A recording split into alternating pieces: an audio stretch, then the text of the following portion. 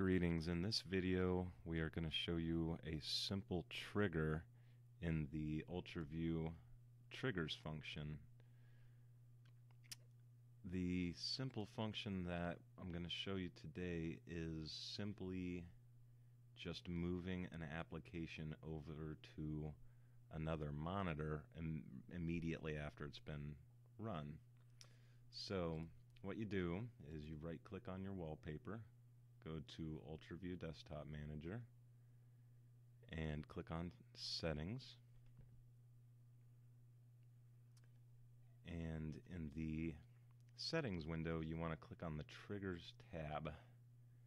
From here, you'll want to check the box to Enable Triggers. And we will go ahead and add a trigger with the Add button. And so what you want to do is you will want to have the application open that you would like to move. And it can be minimized in the background. It just needs to be running. And in this example what we're going to do is just have Chrome when you initially click to open it for it to for UltraView Desktop Manager to forcefully move the Chrome window over to the second monitor. So what we are going to do this trigger is going to be enabled the event is going to be when the window is created. We always want it to occur.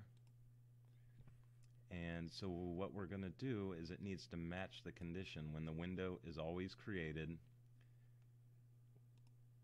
we want to select the process file name and since we had Chrome running go ahead and select Chrome and click OK and from here, we just need to define an action.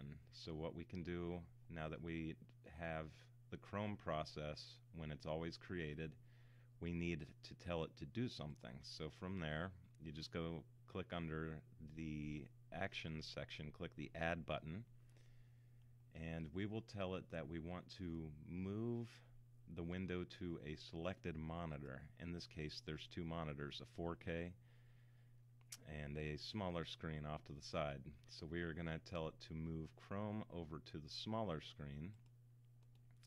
And we also want to tell it to maximize it after it has moved it.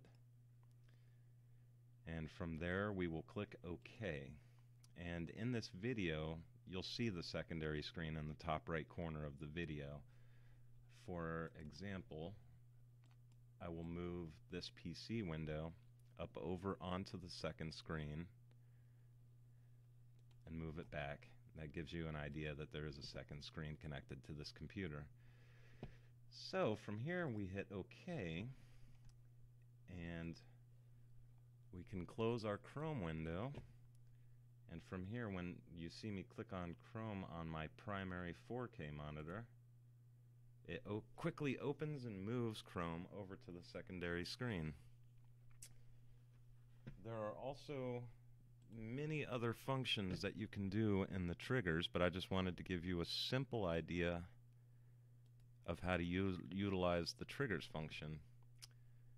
And that will be the conclusion of this video. Thank you again for purchasing UltraView.